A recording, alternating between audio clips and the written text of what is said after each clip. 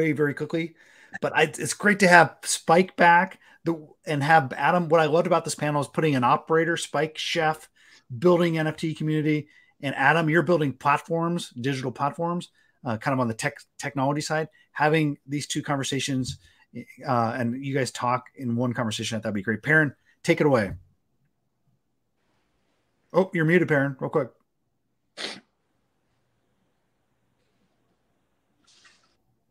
Oh. Can't hear you. As he works through it, um, we'll have him. You might have to refresh, Perrin. Uh, Adam, very quickly, uh, tell people about Brightloom. You were with a company called Brightloom, which is a digital technology platform for restaurants, right? Yeah, that's right. We we help brands, mo- mostly consumer brands, restaurants, chains, retail uh, chains, essentially have better relationship with their customers through data and technology and next generation loyalty essentially. So we're trying to do our best to take um, everything from uh, you know actionable insights that you can get from your first party data and segmentation all the way to helping brands with their nft strategy to build community and unique experiences. So we believe like the combination of like hyper personalization and data and and the kind of things that Web3 enables around community and connection. And uh, we, we, think that's the future. And, you know, we're excited to help brands in their journey. Mike check on Perrin. How you doing? Can you hear me? Yes. Yes. Yes. Welcome. Okay. Excellent. Right. I'll step back. You take it away, Perrin.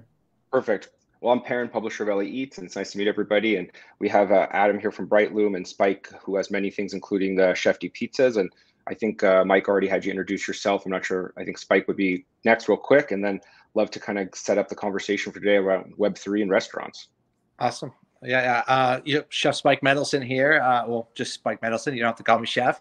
Uh, I, uh, you know, most recently uh, launched and sold out uh, Chefty Pizzas, which is, you know, an, an NFT project, basically um, uniting the food and beverage world uh, with Web3 and getting those two two worlds to, kind of talk to each other. Uh, we do it through uh, you know the popularity of chefs because we're, we're at the forefront of food and and kind of the ultimate connector in the food system and and everything really there. So. Um, that's been fun, and then yeah, we I've, I've restaurants. I also have a day job, which is uh, running a restaurant company. We have uh, two new startups, which is a plant burger CPG company called uh, Eat the Change, both uh, planet friendly, uh, uh, plant based companies. And uh, yeah, we've been growing those. And uh, yeah, I mean, there's a couple other things, but but we're here to talk about Web three NFTs, and I'm excited to talk to Adam. I mean, listen, uh, you know, we're we have a, a new brand, if you will, uh, called it's it is Chefty, and and uh, I'm sure I'm going to learn a lot just by having him here, and hopefully connect with him after too, because uh, it's kind of a exciting movement right now. So yeah, let's open it up. I'm excited to kind of get into it. I think just to give a kind of sense for the audience, we're going to try to get into how Web3 can be able to be used to leverage to bring community and utility together to hopefully reduce customer acquisition costs in, in a sense that ultimately we're trying to use it as a, a, different channel and want to frame it around that and bringing people in. Obviously, all this is great, but people are running a business as you both are, and how can we kind of connect it back? So the first thing is really kind of figuring out how like establishments and chefs can build more loyalty with their community using Web3 and NFTs. And I think you both have different approaches. I'd love for Adam to kind of jump in and give set the foundation, and then uh, Spike, if you'll come in and kind of tell us what you're doing, which is really interesting with Chefty and and, and basically creating a, a, a forum for a lot of other chefs to kind of get comfortable with Web3. You guys are really kind of the incubator in a way for them. Sure, I'm. You know, I I'll go first, and then I'll turn it over to Chef. I, I, I just want to call you Chef. I love that. So I've always wanted to do that because it makes me feel like I'm working in an actual restaurant. that. Um, so the, what I'd say, let me let me maybe talk generally, and then uh, Chef can kind of take it in terms of specifics for restaurants and for chefs as individuals and as Perfect. brands. So the thing that I why I'm so turned on by the Web three space is the idea that there's this concept of owning a digital collectible that also doubles as an access pass. Like the combination of those two things is like mind blowing because you both have the fun and ownership uh, of owning something that if it has more value maybe maybe it can go up in value whatever but the point is that it's yours it's a collectible it can be fun and the fact that it's it, it can double as an access pass and it's you know meaning it's like programmable it it's You can gate who gets to get special content, who gets to get special experiences, who gets to get surprise and delight benefits. Like we all know the concept of membership. We all know this on concepts of collectibles. When you put the two together, this amazing thing happens and community forms around it. And like it's everybody's dream in the business world, whether you're a individual or a brand, to sort of have this concept of a brandable collectible that community would would would coalesce around that could create a new model of membership. And so it's super technical right now and it's kind of a clunky experience to sort of deal with it if you're not used to it. But if you put all the technology aside and just think about those things, it's like mind blowing because now, for example, not just brands and restaurants, but authors and creators of all kinds, they can create a sense of direct connection and community with their thousand true fans, as they say. And like, and that ability to both um, connect directly with this community and the, the community kind of talk to one another and they all sort of like tribally band together and have a have a similar interest like that's just really cool so whether you're in the restaurant business or the retail business or you're an artist or whatever like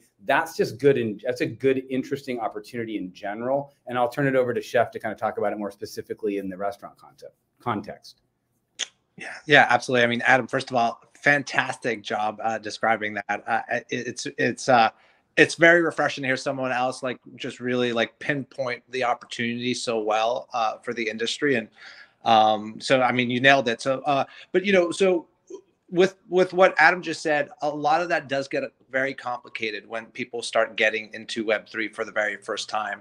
Um, so for me, it was really important to kind of experience it myself. I've always, I mean, let's back up a little bit. I've always been a little bit of a disruptor in my space, right? I've always been, you know, not really supportive of the James Beard Foundation, pay to play. I've, I've always kind of do my offset food festivals in and around larger food festivals. I've always been chefs deserve more IP, you know, and part of larger part of deals, right? As culinary artists. So, you know, we spent a lot of time making a lot of other people rich uh, in in our past years. So, just at the basis of that, my curiosity for Web three and to dive into it, it was was was was that's kind of what the beginning of it was, right? So when you know I went in to kind of discover the space, I very you know very fast, you know, understood that this was all about community, building communities, right? Uh, and you know, chefs are very well poised to build communities. That's kind of what we do naturally with our restaurants, right? We have to kind of build a community around like the offerings of our menus and and gain trust and and so forth, and give loyalty in some in some way. So I thought there was a very interesting proposition for chefs to kind of dive deep into Web three, right? Especially during the pandemic where I felt a little dumb and left behind in Web 2 when we were fighting to find our customers at home, right? For instance, where customers weren't coming into our restaurants anymore and and the only way we can find them was through third party delivery systems like Uber Eats or or Caviar, which were taking huge margins. And you know, thank God they existed because we were able to kind of figure that out. But man, did they take a huge margin, right? So, you know, it just got my you know myself thinking. So you know i decided to launch this project which was chefty pizzas. And what's really cool about it is it's basically like a membership to this community to the this foodie community if you will. Um, the pfp project with the pizzas whether it's silly or not it was really training wheels for for tom Colicchio and i and team to kind of learn the space learn the ins and outs have something to chat about have some type of flat platform on Twitter Space, right? And to build a community. But soon after we announced the project, it's when my mind just started going nuts, right? Because I would go into the Discord, which is where this is, you know, all the communication happens. And I would see that we harnessed like the foodies of all foodies, right? The ones that want the the ones that spend money at our restaurants, our cookbooks, tune in to watch our shows, are part of loyalty programs. Like it was like the best of the best foodies, uh, and it just so happened that it was fan fans of Tom Colicchio's and fans of mine in the same community. I said, "Oh wow, that's that's kind of a moment. We're harnessing." two different fan bases and foodies and bringing them into this one to share uh, and the conversation took much further than just pizzas, right? People started, you know, just posting their food or having, does pineapple belong on a pizza or not, for instance? And and we were, you know, uh, doing these virtual pizza classes, um, and we hadn't even launched our NFT yet, right? We were just had our Discord and we were just learning and learning. And we were like, oh, wow, like, you know, we literally just launched a pizza competition. People went out to grocery stores to buy foods. They went to go spend money. They brought those brands back in their house. They took photos of them. They created a recipe. And then Tom and I judged it. And I just thought that was like a mind boggling experience. I was like, oh, wow, brands would definitely have to be interested into our community, right? Why not market to the best of the best of the foodies of the world, right? So that was just an interesting proposition. And before you know it, like the Discord takes a life on its own. It's like, can we open a London channel, a New York channel, a Hong, Chan- a Hong Kong channel? And before you, you you know it, you have these micro food communities also developing within Discord, right? Which presents itself a whole other slew of opportunities. So then Tom and I sat back and we we said, listen, we started with this PFP project but the larger than life idea was really kind of what Adam was kind of le- leaning into, right? We really wanted to harness the best of the best food, foodies and give some type of loyalty and special access to them like they've never seen before, right? And also be able to drive this awesome asset, right? That's that's the key thing, right, Adam? Like being able to have this two-prong approach with the NFT where the community feels not only are they having these experiences, right? But they're also building this asset, this ownership of this that that they're part of. So, anyways, I could go on forever, but I just want to pause and throw back to you guys. So. Oh, definitely. I want, I want to toss it to Adam because I think you lend from community and I want to kind of take us to utility. And I think something that I really want to discuss is tokenized loyalty and how it kind of the value of what the chain can bring, some of the rights you're talking about in terms of monetizing and actually creating some sort of ecosystem around it, and how it differs from a traditional Web 2 off chain strategy because I think this is a great use case for people to understand there's actually some real value that's right available now. And I know you guys are both interested in it.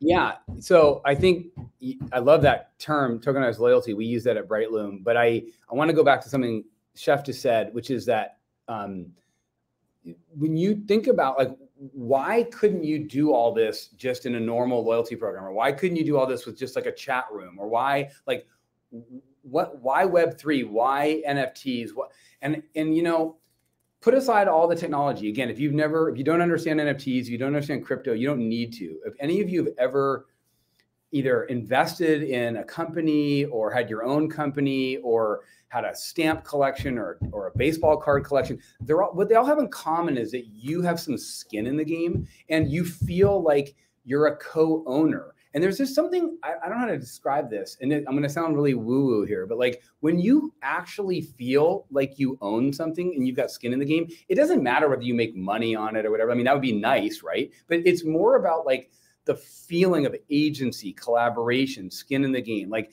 co-ownership, co-authorship. Like there's something that mentally changes when people. I mean, imagine if you were like when I was a little kid, I used to collect stamps and baseball cards. Like, could you imagine if like I was collecting them, but I didn't really own them. Like it, it, would it would just be different, right? You say, what's the difference? Like you're completing a set. You're like, mm, it's different if it's yours. And so I think everything that Spike was saying about the willingness, the desire, frankly, the fun of showing up in a Discord, which is like a basically, if you don't know what Discord is, it's basically like a subreddit or like a chat room, right? That's and usually is only available certain parts of that chat room only available from members of the community as proven by the fact that you own a um, uh, one of these NFTs. And so, and the and and, and um, Spike also mentioned the idea he had fun with the different uh, profile picture faces the different pizzas that like. So every single one of these membership cards in this content and community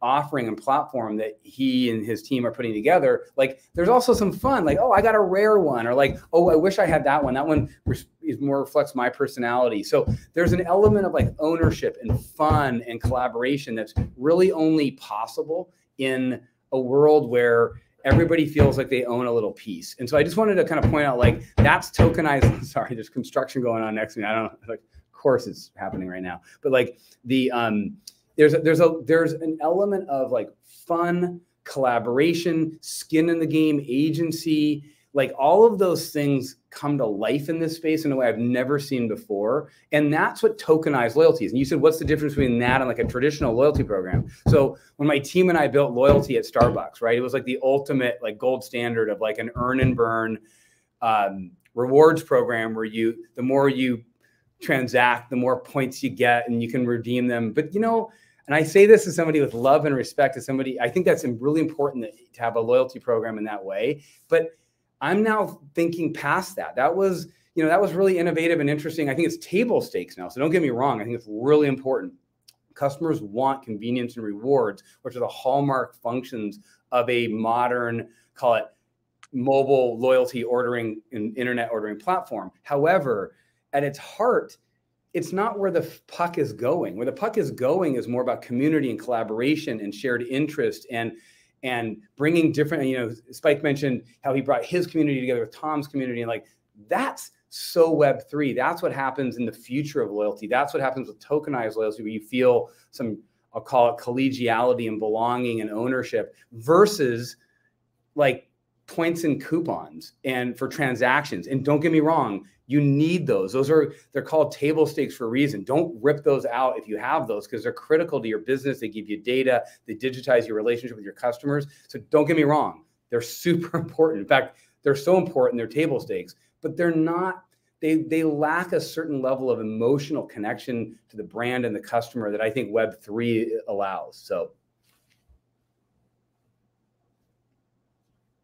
And just for everyone to understand the tokenized element that's slightly different, think of it like uh, an airline point system where your company could sell these points in theory outside of your traditional ecosystem. So it opens up potential opportunity to partner with other networks and sell them and then have them incentivized kind of coming back in or giving them to chefs maybe in the Chefty community if you have a token in the future. And that's the way that they vest for doing work. So um, just love to understand how you think that maybe the right player could help set the standard for this, either one of you. Just does somebody kind of have to be the education front and and take a little bit of the the hits in terms of people being scared that NFT is all art or that there's speculation and they need to get past that and show no, we can create utility. There's these ownership, the agency, all these pieces. So how do we go from digital art and some of the speculation to a true world of utility and who needs to spearhead that?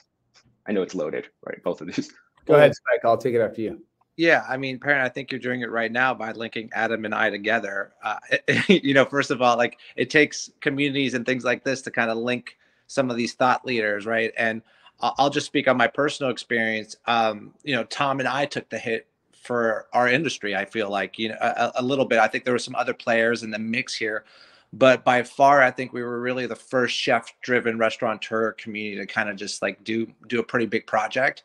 Um, and you know, you know, I often joke like we sold out in 24 hours, which speaks volume about our team and our mods and our, our devs and and everything. But it was a year of grinding on Twitter Spaces, learning the space, losing followers, being called the Ponzi scheme, you know. Um, but all of that was a huge educational piece for me, uh, for me that I love because I was able to package all those experience, and then when I'm onboarding chefs now into my platform you know, to possibly do NFT projects and be part of our next project, I'm able to speak on what's you know you know some of the hiccups you're going to find along the way, right? You're going to have some of these doubters, but beyond the doubters, what I thought was interesting for chefs were often left out of technology conversations or the tech world or blockchain or NFTs. And for the first time ever, I saw like this immediate unity between this tech world, right, and the food and beverage world, like the chef world, restaurant world. And I was like, oh, that's pretty cool. You know, we had Kimball Musk, which I don't know if I would have ever been able to reach him other than because we did this NFT project, right? He was part of our smart contract. When when we minted Chef Chefty pizzas, we made the big green DAO part of our, our smart contract. So immediately as we sold out, money was directly going to the big green DAO, and they also earned on secondary. So me, just the unity to kind of the the tech world was was very interesting. Now trying to take our platform and what I always refer to as a brand with the community behind it right now, uh, to to big business, to real utility. Um, I, I think I'm going to have to discover that, and we're going to have to build that. You know, right now, utility uh, for the project is low hanging fruit, right? And I say that very openly to our community. I say that very openly to Twitter space, but we're literally just scratching the surface. And and our best type of utility as chef is using our talents to cook. So I, you know, it, eh, you know, for the for for our project, we said, listen, what you know, people can understand the cooking class as as something they're getting a master class or what you you know so being able to onboard people into our platform and to start get them to start talk a little bit about our utility behind the Chefty Pizza Project, uh, for the most part, is cooking classes. We just had our our one last week. It was very successful, a lot of fun, you know, and you show value by doing that because these cooking classes are not cheap. We get hired out, guys like Tom get hired out to twenty five to fifty thousand dollars for for cooking classes, right? And this community has access to this, right? And we're gonna archive all the cooking classes. So if you have a, you know, this this this NFT, you're able to get in there and rewatch the class and and and, and what have you, right? But just to point another thing on utility before I throw to Adam, you know, we're finding, you know, it, it's interesting. So we onboarded about 25 celebrity chefs into the Chefty Pizza Discord. You know, we're talking guys like Ming Tsai, Andrew Zimmern, Cat Cora, which is an Iron Chef, Rocco DiSpirito, a legend. Uh, you know, just to name a few. We have about 24, and developing that micro community, Adam, to me was mind-boggling. Right, being able to have like the 25 chefs and all their fan club into one community to earn loyalties and earn utilities off of each other. I, I thought that I thought that was a pretty interesting proposition, right? To me, uh, you know.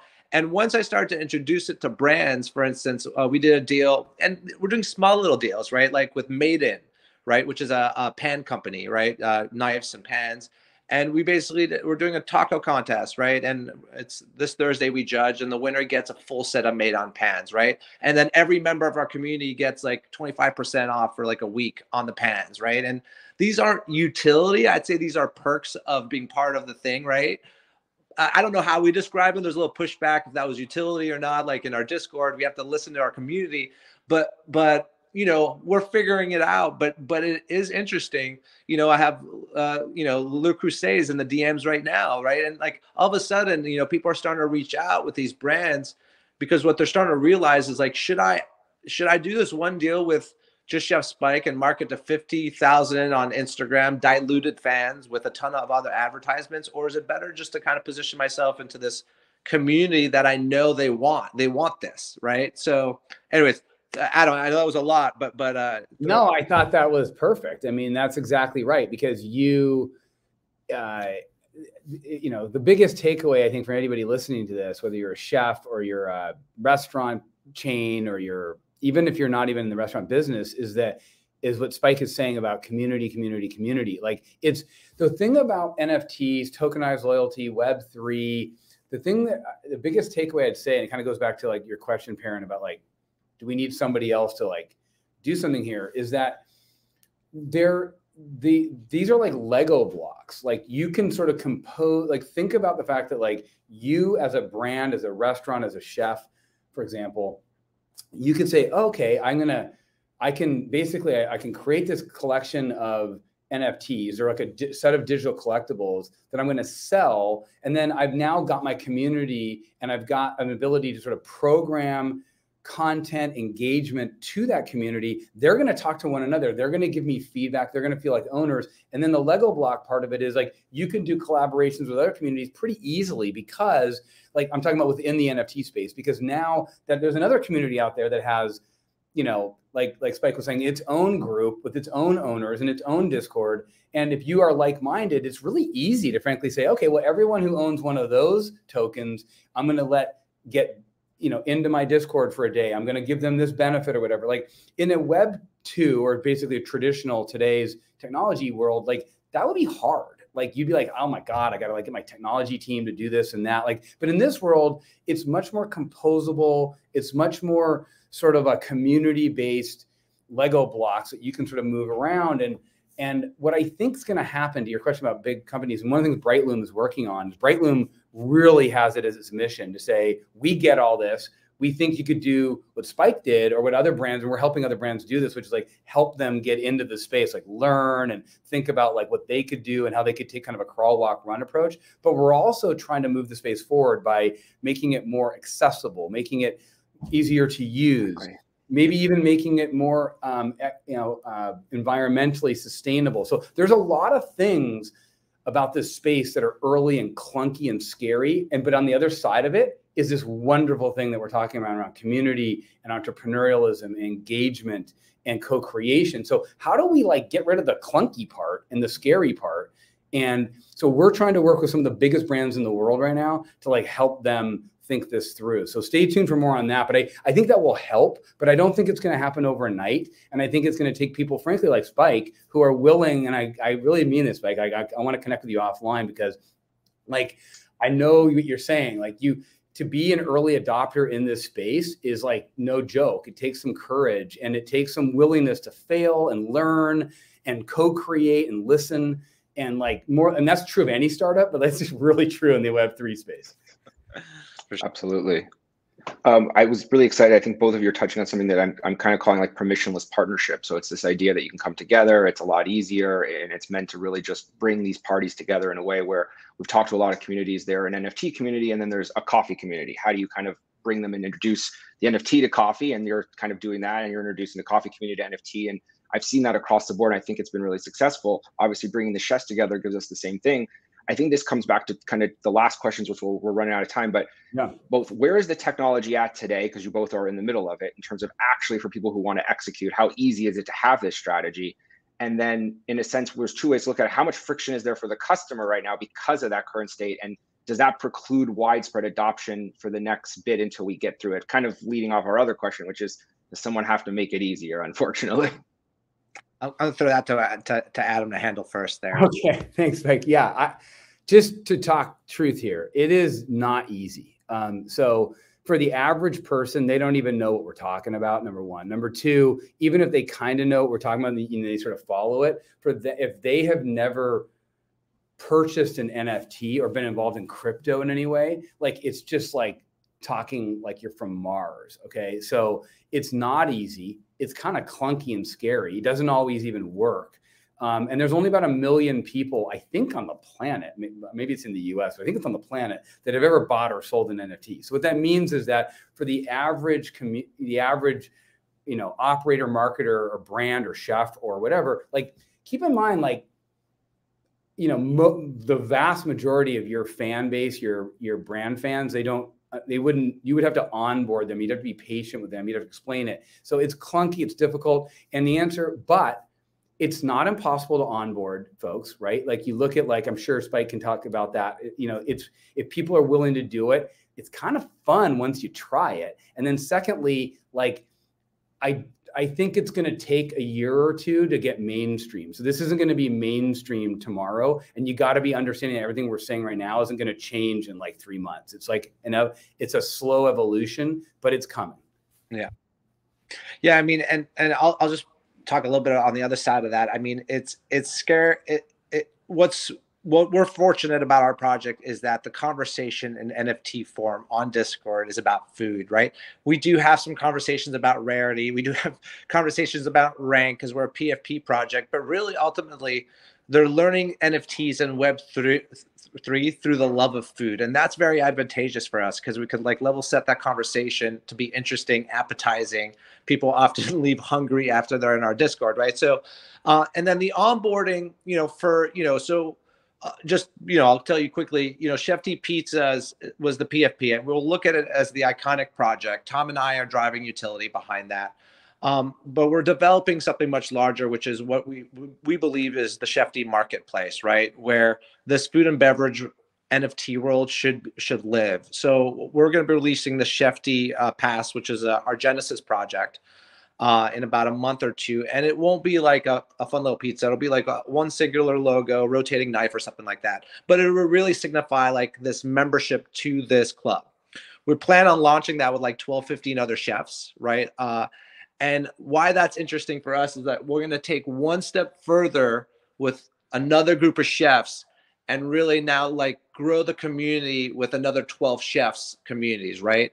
And we're going to be able to have some really interesting learning because we're really targeting chefs across the United States to be able to spread the love to be able to drive the utility. And and what we hope that we're building is kind of like the roadblocks for the food and beverage world where not only chefs will be able to come in and launch their nft program or, or what have you it'll be makers like a beer maker a winemaker because we'll develop this great demand and super fans of nfts and web3 and be able to kind of have like this living breathing community um, and you know the other i just want to say adam said something really interesting that collectibles right if you look at this as collectibles like stamps or hockey cards or what have you, I, I love I love that analogy because, you know, people I mean, some people drive to get the blue check mark, right? And, and at the end of the day on Twitter, that's just like a like because that's a label, right?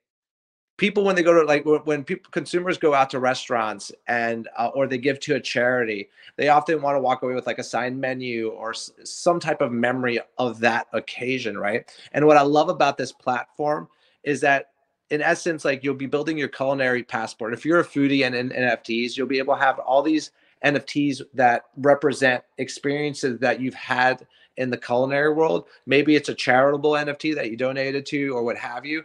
Maybe it's this restaurant you went to, like 11 Madison Park, and had this one menu that was just for that one NFT.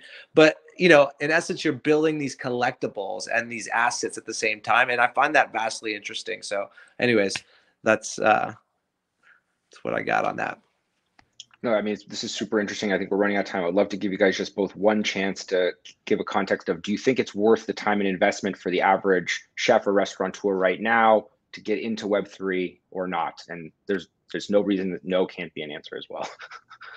yeah. I mean, uh, yeah, I'll go, I'll answer that. Um, you know, I, I say yes. I mean, my, my, uh, my part-time job now is to believe in this as a new vertical for chefs that has been apt, uh, untapped for them a way not only to drive more IP back to themselves, more to the brands that they work on, but really harness the community that they market uh, and leverage that through through utility and through loyalty and, and and really just build around them. You know, you know, my big hopes is that Chefty becomes such a strong food and beverage community that companies like Starbucks will give loyalty to our specific community, right? To come in or something.